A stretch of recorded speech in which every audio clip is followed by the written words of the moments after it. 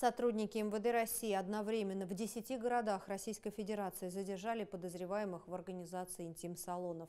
Сотрудники МВД России выявили сеть массажных салонов, которых оказывались услуги интимного характера за денежное вознаграждение.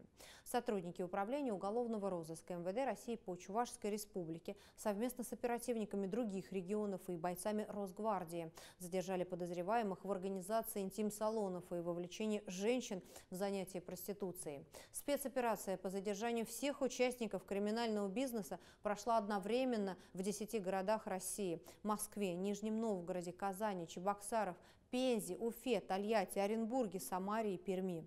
Полиция пресекла противоправную деятельность более 60 человек, среди которых организаторы, администраторы, охранники и работницы массажных салонов, в которых оказывались услуги интимного характера за денежное вознаграждение.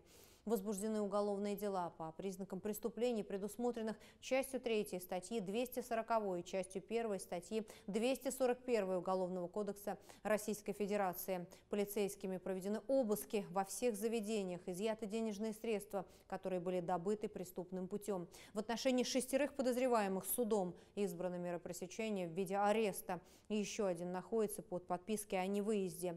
В настоящее время осуществляются оперативно-розыскные мероприятия и следственные действия, которые направлены на установление дополнительных эпизодов противоправной деятельности фигурантов.